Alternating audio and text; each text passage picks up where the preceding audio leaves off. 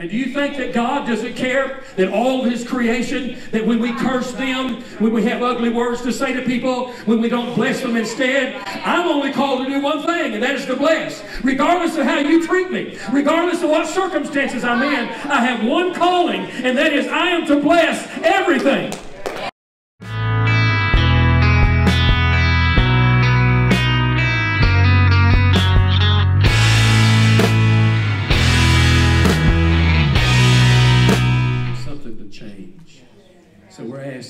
Father, that you just cause this rain to let up in the natural, not the spiritual, though. And we just ask you to help this uh, critical situation for some people to change.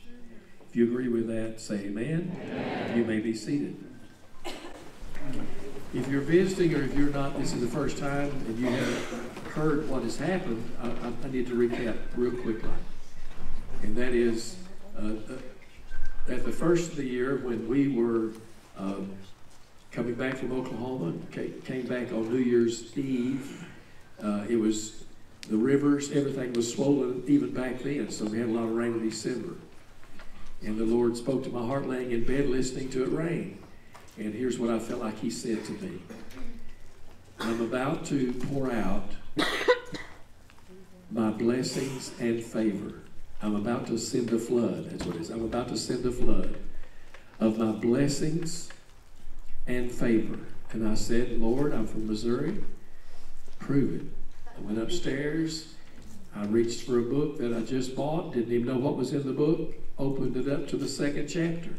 And then I looked down and the, a writer said, I am a meteorologist to whoever's reading this. And I want to tell you there's a flash flood warning because I'm about to pour out a flood of my blessings and favor. It's exactly what the Lord said to me. And I, I wrote it down. I said, Lord, okay, you're about to pour out on people that are willing to receive this flood. And you name two things blessings and favor. I've never preached an entire series on that, uh, but I feel like the Lord is saying, 1 Corinthians says 15, first comes the natural, then the spiritual. And I told somebody, somebody came up to me and says, You're at fault. You're the reason why we're having all this rain.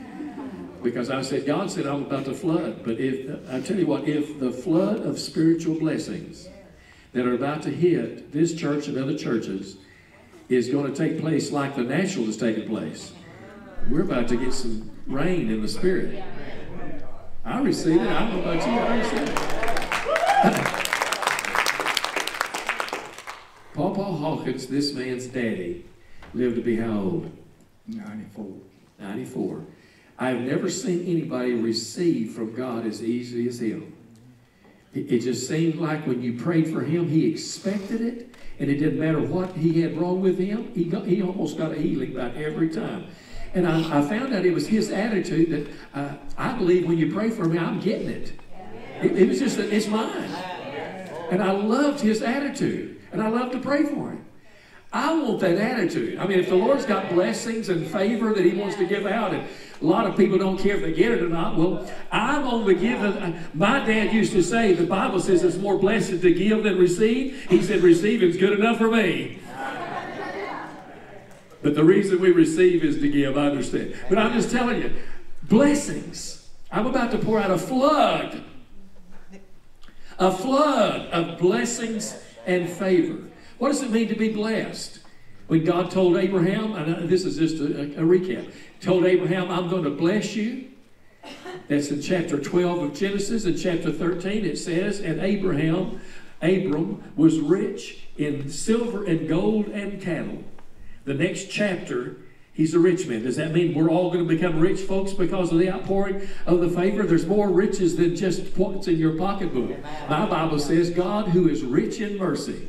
There's some spiritual riches that we all need, right? Amen. So I'm telling you, I'm excited about God pouring out His blessings and His favor, and it's going to change some of our lives. Can you say amen? amen. Now, Paul said in the first chapter, before I go back to that verse right there, uh, Chris, put Ephesians back up for me, the one right before that. Blessed be the God and Father of our Lord Jesus Christ, who has blessed us with all spiritual blessings. Paul understood something when he wrote this. He understood that the foundation of any blessings that come your way and mine is based on one fact. All blessings that you're ever going to get is based on one fact, and that is God is a blessed God. Blessed be the God. And Peter says it even better. He says, the blessed God. God is a blessed God. He's not frail. He's not impoverished. He's not impotent. impotent. He's not broke. He is not El Cheapo. He's El Shaddai. He's the God of plenty. And let me tell you what, there's nothing in the universe that is beyond his ownership. He owns it all. I know the mining companies feel like that when they dig that ore out of the ground, the gold and the silver and precious metals, they feel like they own it. But my Bible says, the silver and gold are mine, saith the Lord. It belongs to Him. Oil companies are now getting oil out of the earth in ways that we never dreamed. There's rock that they're, they're, changing into oil. And, and it's just amazing the creativity. And they may feel like that we have all this in, ingenuity and creativity to do this, and it's ours. But I want to ask you a question uh, Who owns creativity? Who owns ingenuity? Who owns the ability to have talents and capabilities of learning secrets of the earth? I'll tell you who owns it. God owns it all. Did you know the devil don't own anything? Gangs do not own our neighborhoods. Thieves don't own what they steal. There may be a temporary transfer of authority over things, but it's temporary. And one day I read in Revelation chapter 5 where it says there's a being sitting on a throne with a book in his right hand. And there's a lamb comes up and takes it out of his hand. And he begins to open the seals. And when he opens the seals, you know what that little book is? It is the title deed of earth. And God is saying, I'm taking back everything that belongs to me because the sin filled world is not going to have this earth, the meek shall inherit the earth, which is saints of God. It belongs to God. Can I have an amen? My point is this if you're to if you're going to receive a blessing, you have to have some confidence. Does the person saying they're going to give it have the ability to give it? A check is no better than the person that writes the check. Can they pay? And I came to tell you God can pay. God is able.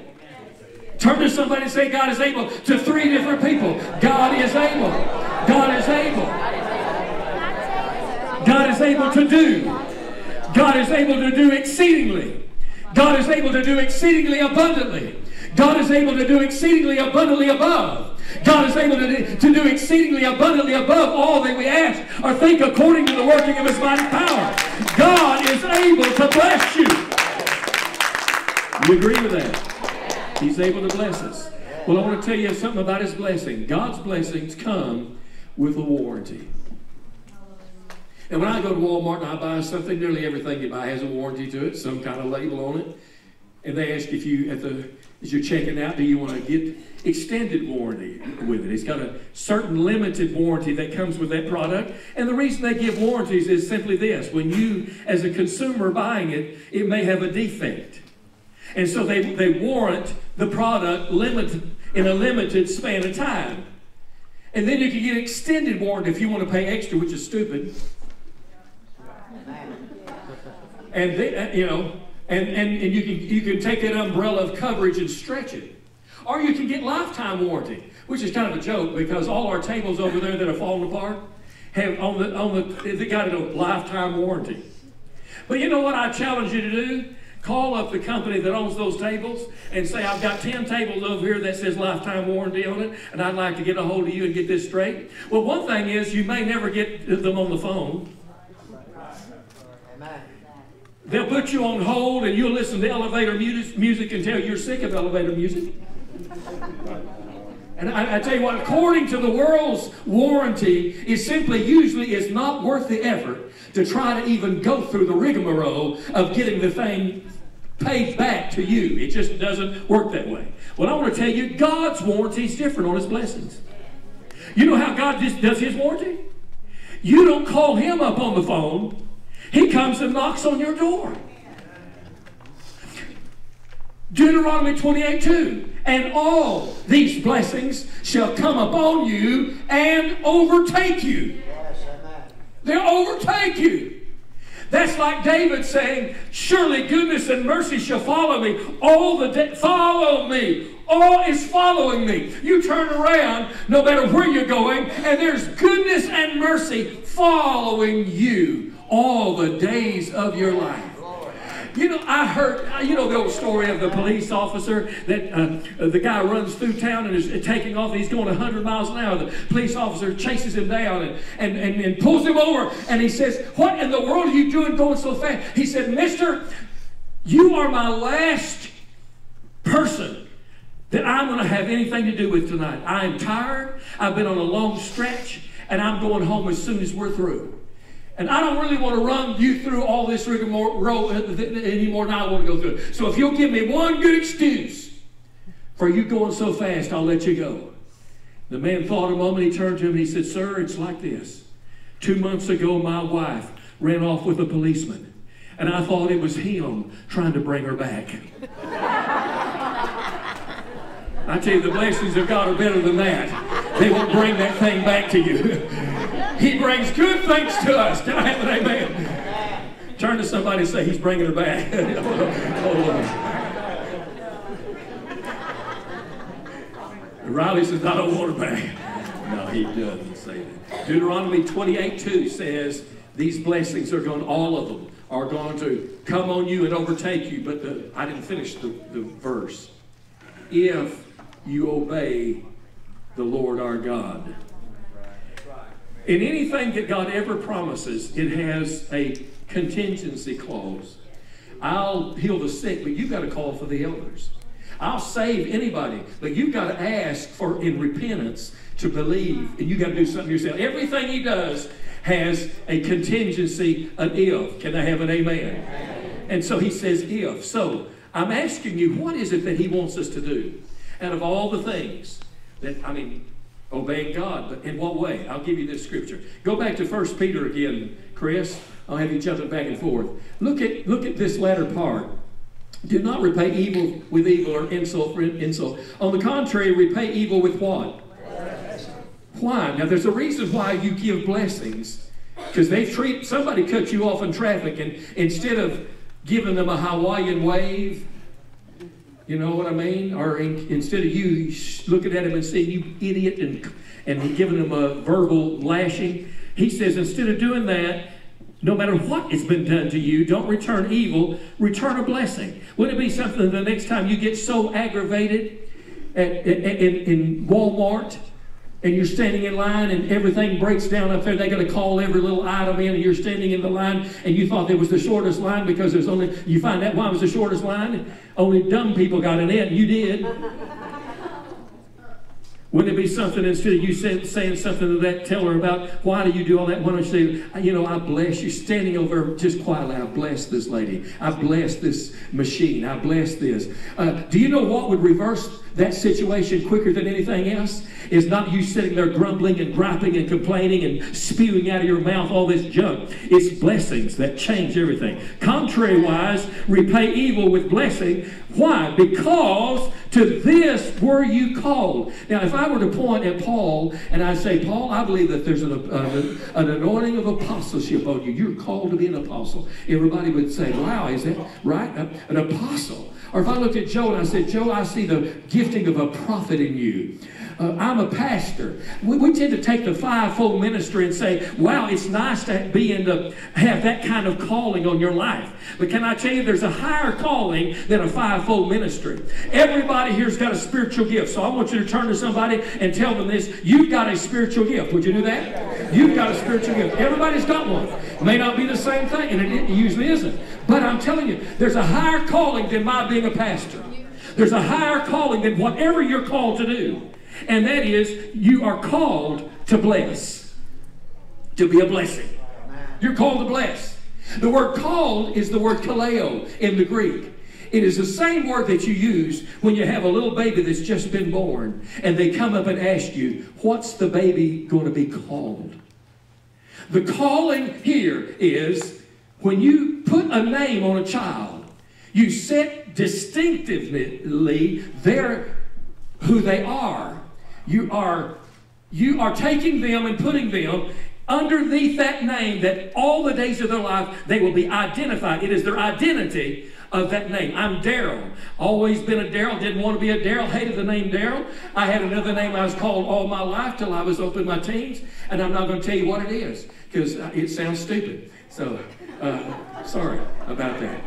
And I remember hearing my name being called Darrel in school and thinking, I hate that name. Call me by my other nickname. Uh, but I tell you what, it's my identity. It's who I am. Darrel the squirrel. I know, you know there's all kinds of things they call me. Darrel big as a barrel, which wasn't true. But I'm telling you, whatever your name is, it distinctly identifies you as that person with that name. And I'm telling you, God is saying this. There's a calling on you that you're called. You're called to be a blessing and to bless people on this earth. It's higher than apostleship, higher than prophet, higher than anything. You have a calling on your life to bless other people. Do you see that in that text? Why? That you may inherit a blessing. Okay? What does it mean to bless someone? What does it mean to bless someone? Would you sneeze for me? Oh, thank you. Zachary, did you do that? Thank you, Zachary. Quick response. And Zachary, what do you expect me to say to you, Zachary? Yeah, bless you. Okay. Would you do that again, please? Okay. Well, you're real quiet now. And I say, bless you. Or God dis I saying it right? Dis God bless you. Okay. Yeah, okay, God bless you. Uh, do, do, you understand where that came from? In the 6th century, when the bubonic plague, it's hard to say, blah, blah, blah, plague came out of the 6th century, killed over 100 million Europeans. Pope Gregory commanded, most of his people were, that people were Catholic. He commanded them, when someone sneezes, which is a telltale sign that you're getting the plague, it was one of the major signs people continue sneezing. You, I command you to bless them. In the sixth century, when someone started sneezing, you blessed them because of the plague. Nowadays, it's because of Mississippi junk that's in there, right? And we got all the, but we say it all the time. He bless you. And we don't have any idea the power of blessing. It's not as simple as bless you, bless you. It's not that. It's the, the word's barak. It means to speak the intention of God over a person. When I speak a true blessing, listen to me. When I speak a true blessing, and it comes from my heart and I bless you, it's just words. But when I say it out of my heart and I bless you, and you say it out of your heart and bless somebody, what you're doing is you are speaking prophetically over that person of what God's intentions are and not where they're at at the moment.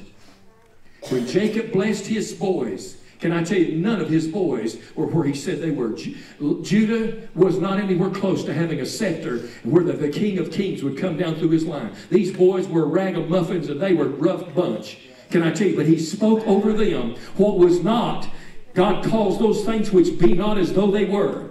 He calls him Abraham when he doesn't even have a child, the father of many. He calls her Sarah, the mother of many, when she didn't have a baby. He calls him Peter when he's the most sinking sand there is, but he calls him a rock. It's because Jesus never starts where you are. He starts where you're going. And he says, this is who you are. And the blessing the blessing itself has a power in it. You say it's just words. But when you say it from your heart and you speak to that child or to that person and you say bless you and you mean it from your heart, you've released the power. Something's come out of your mouth. If God can create worlds out of his mouth and I'm in his creation, then I've got power to, of life and death in my mouth. I can do it. I can kill, I can make alive. I've got power in my mouth. Turn to two people and say, You've got power in your mouth. Speak the good right thing. Amen. Get power in your mouth.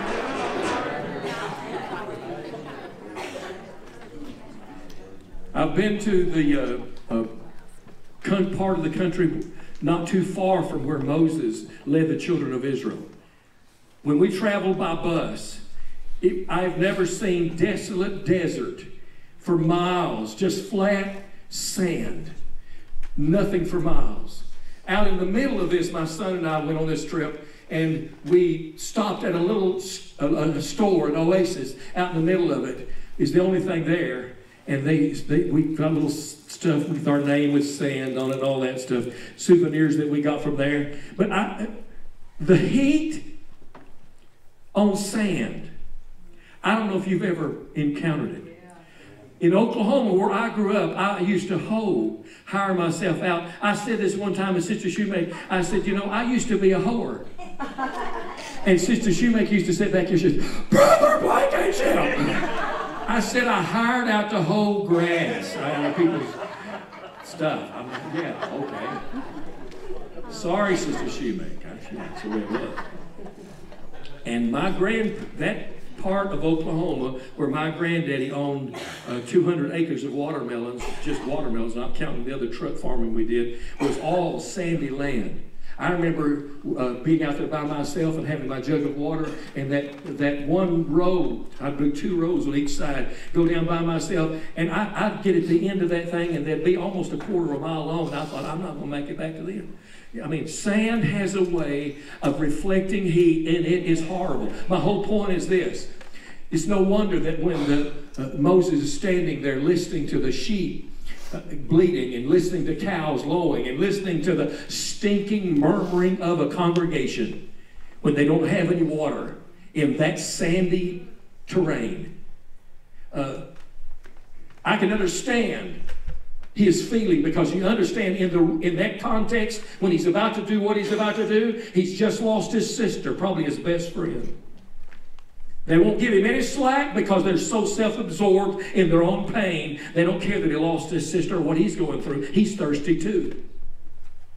And so he makes the biggest mistake of his life.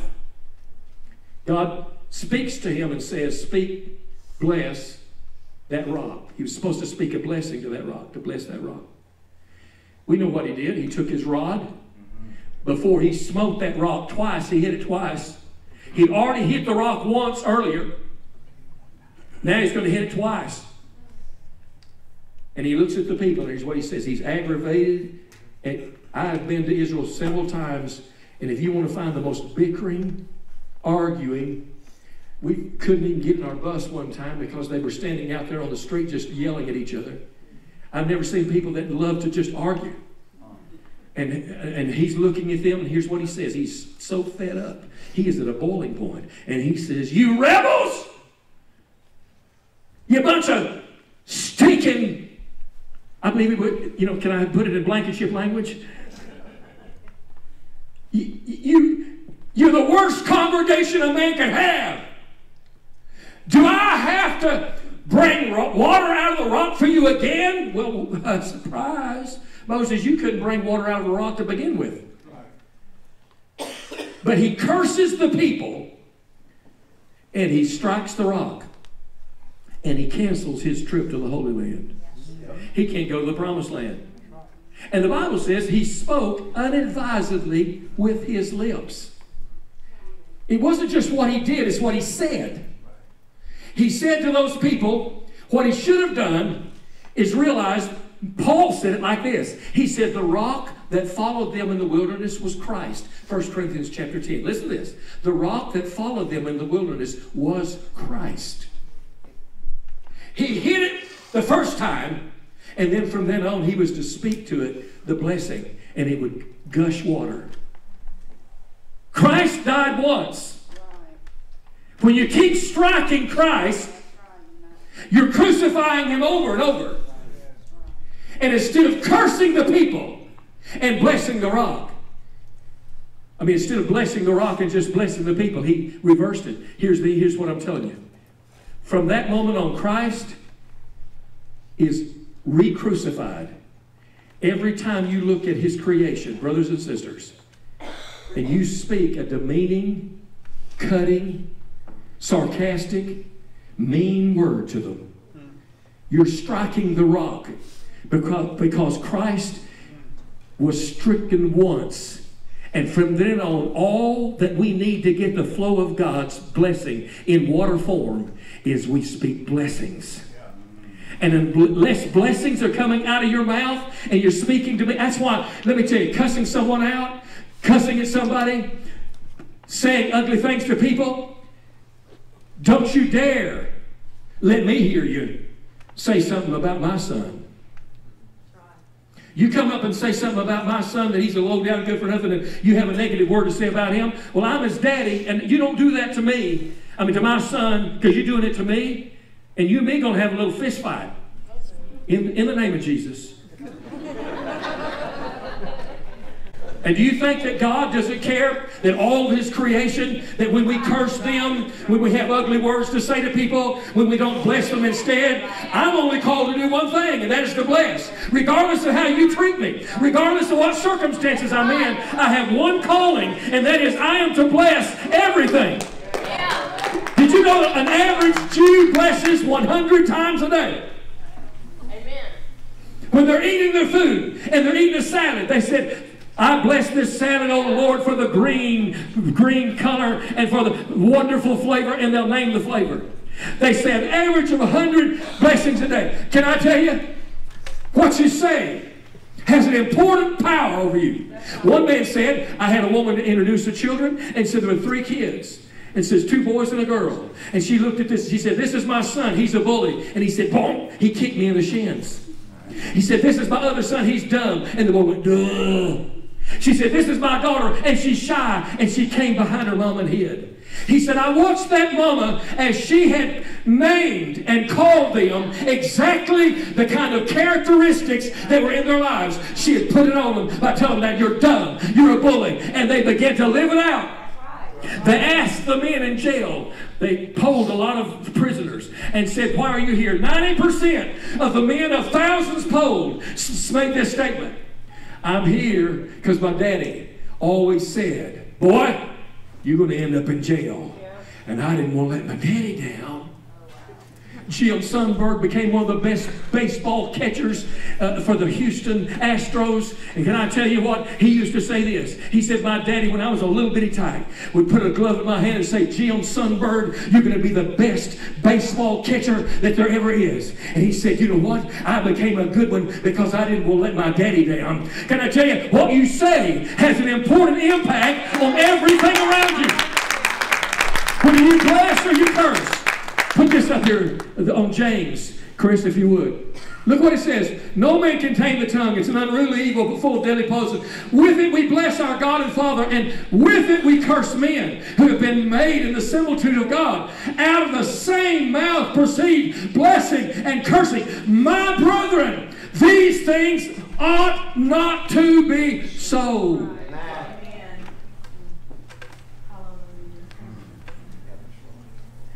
I read where a woman's had all kinds of problems with her boss. Never could get along with him. Worked there for years. They never had a civil word between them. She got overlooked for promotion. He did it on purpose. He didn't like her. She knew it. Her recourse as a Christian was around the water fountain. She'd let him know what she thought of him. At home, where she went, I'm being mistreated. And one day, a woman came up and said, I've been studying about blessing, and I think you're doing it wrong. I think you need a blessing. At first, it didn't sit well, but the next morning, it was Wednesday morning, she went early. She went into his office. She laid hands on his chair, and she said, Lord, I, I'm blessing him.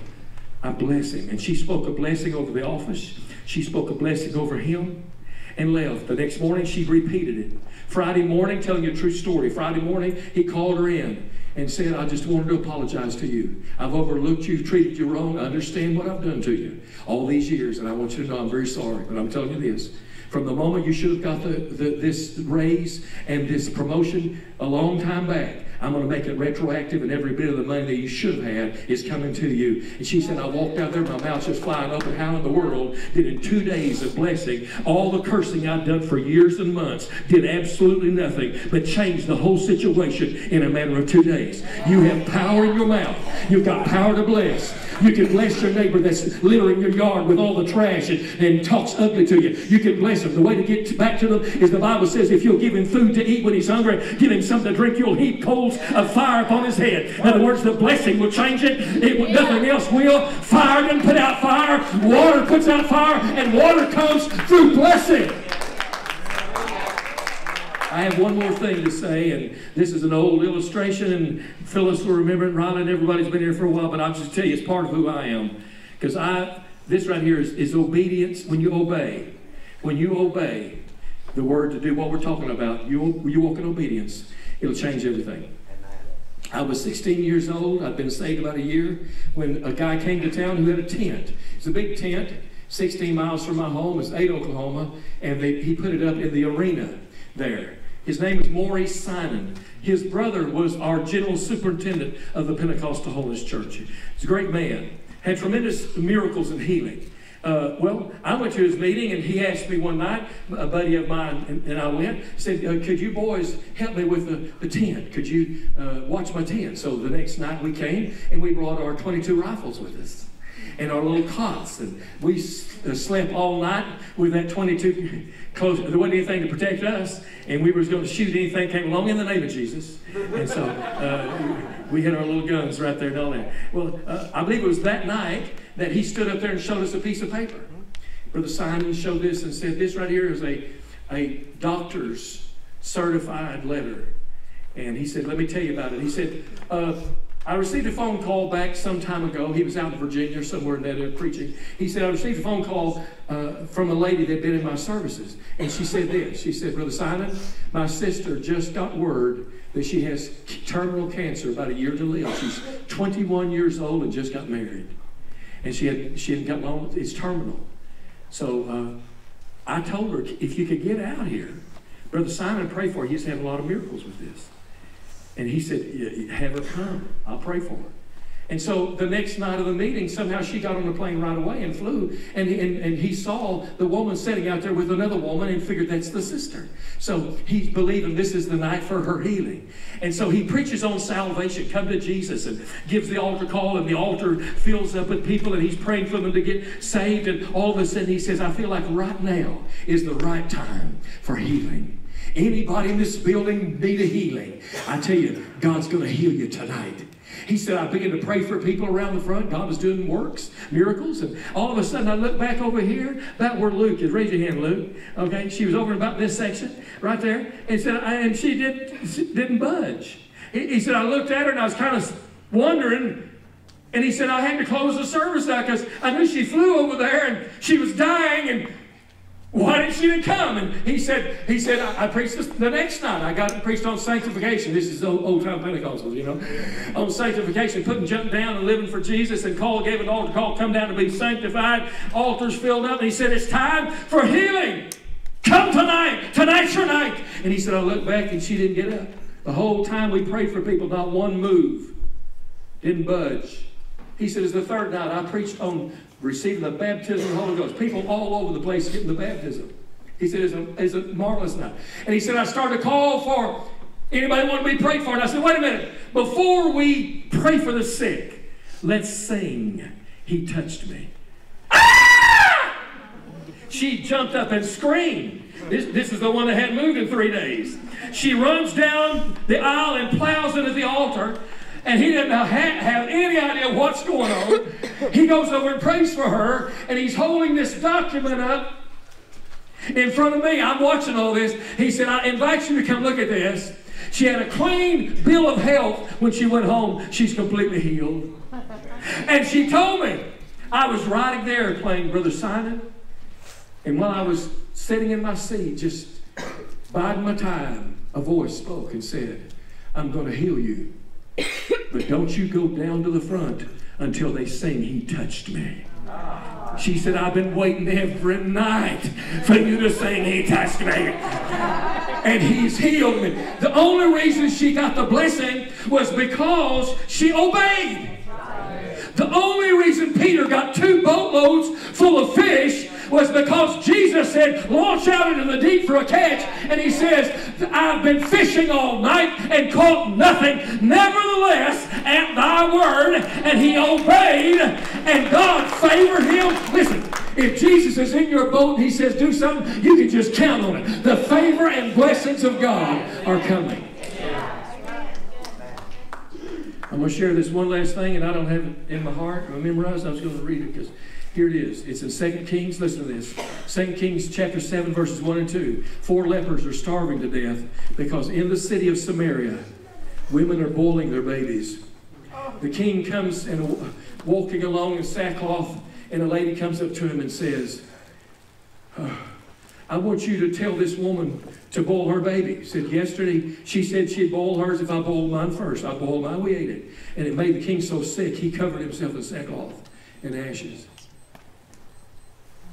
And then he blames God. The reason we're in bad, this bad shape is God. He said, if Elisha lives any longer, so help me God if I don't kill him. The Bible says, if you read there, that Elisha heard the messenger of death, the assassin, coming. And while he was coming, there was somebody else in the room with him. He says, I perceive this is what's going to happen. He's going to try and kill me. Basically, what he said. But I tell you what, today, it, to get donkey's dung, you have to pay an exorbitant amount of money just to get the dung of the donkey. That's how hungry they are. But by tomorrow, he named, you're going to get loaves of bread for a penny. You're going to get food just coming out. And, and the man, the Bible says, on whom, listen, the king leaned on his arm. The, Elisha says, by tomorrow, this time God's about to pour a flood of favor and blessing. And the Bible says, the man on whom the king leaned on said, if God opens all the heaven up, pooh, that's not going to happen. Do you know what? The king was in trouble because of who he leaned on. You know what? You got to watch who you're leaning on.